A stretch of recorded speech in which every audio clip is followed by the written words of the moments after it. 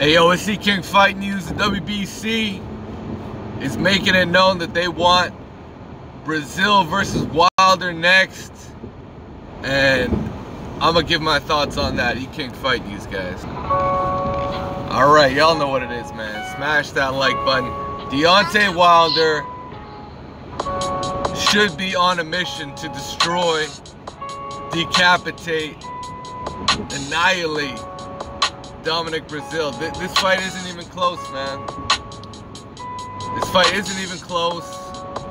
It shouldn't be competitive. If it is competitive, it's only gonna make Wilder look bad. Because they're gonna say, oh, AJ had such an easy time with this guy, you know? For sure they're gonna for sure. It, sometimes the fights with lesser opponents become even tougher because the expectations are so high. Right? This fight, Shelly Finkel's out here calling him a viable opponent. No. No, it's a miss. This is a mismatch.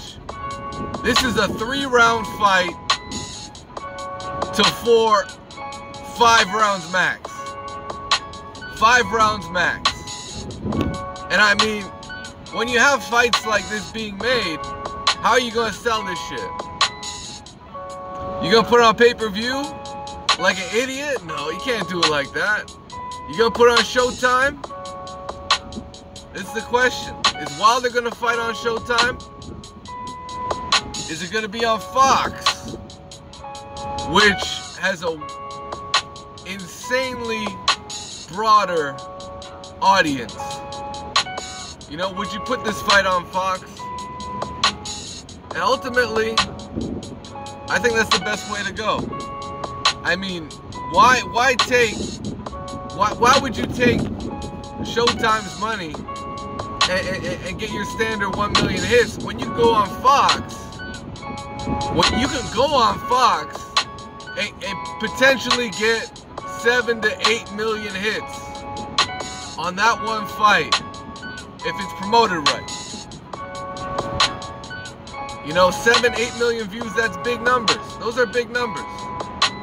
For one guy to do, that, that's, it, it, and, and remember, Errol Spence did something similar on, on the back of the Olympics.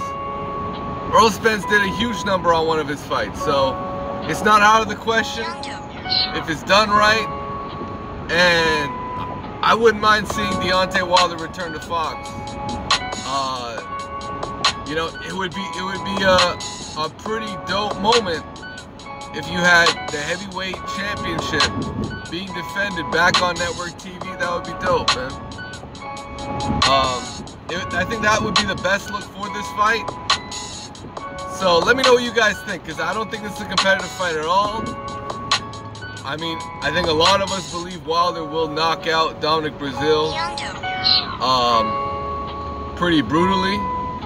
But we gotta see how it plays out, man. For now, it's E King Fight News. Hey, smash the like button and subscribe to the channel if you haven't already. Peace.